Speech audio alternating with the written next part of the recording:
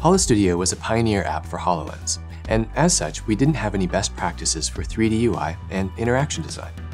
So we had to figure things out through user testing, prototyping, and a lot of trial and error. We know that not everybody has the resources at their disposal to do this type of research, so we wanted to share some of the top issues we had with UI design on HoloLens during the development of HoloStudio. HoloStudio originally had a rectangular workbench, much like you'd find in the real world.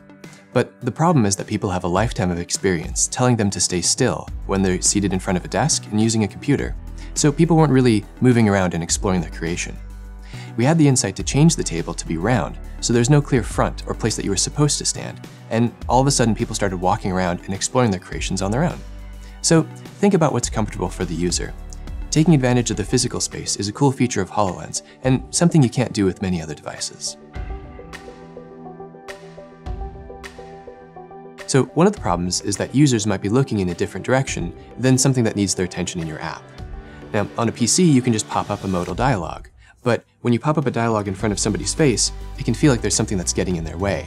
And you want them to read the message, but they just kind of want to get away from it. So we turned our dialogues into a thought bubble system, and we added tendrils that users could follow to where their attention was needed in our application.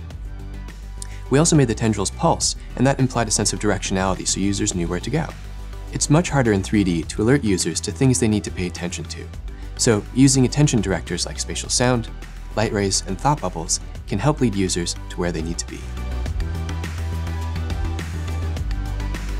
Sometimes users need to interact with a hologram that's actually behind another hologram, which unfortunately blocks the UI. So to keep the UI visible, we tried moving it close to the user so it couldn't get blocked. But then it wasn't comfortable to look at a UI that was near while simultaneously looking at a hologram that was far away.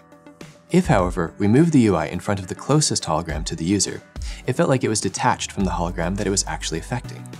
We finally ghosted the UI, and this puts the UI at the same distance as the hologram it's affecting, so they feel like they're connected, and it allows the user to interact with the UI even though it's been obscured. Users need to be able to easily access controls, even if they've been blocked. So figure out methods to ensure that users can complete their tasks no matter where their holograms are in the real world.